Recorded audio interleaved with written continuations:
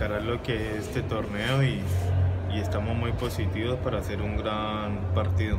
En lo que se vio de la pretemporada, te utilizaron como lateral por la izquierda. ¿Podrías estar el, el domingo jugando en esa posición, ser titular?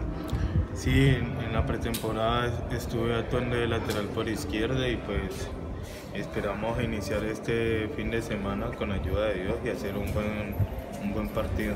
¿Qué les ha pedido Robert Dantes Siboldi para el domingo?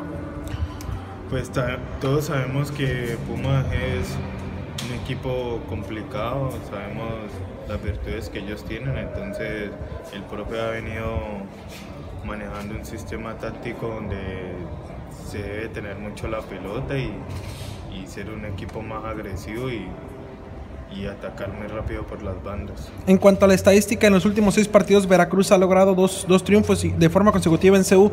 ¿Esto a ustedes les, les motiva, les presiona, los relaja? No, son solo estadísticas y tú sabes que todos los partidos son diferentes y primero hay que jugarlos, entonces venimos motivados más por el trabajo que venimos realizando en pretemporada, por la ilusión que tenemos de hacer un gran torneo, entonces esperamos el domingo hacer un buen partido.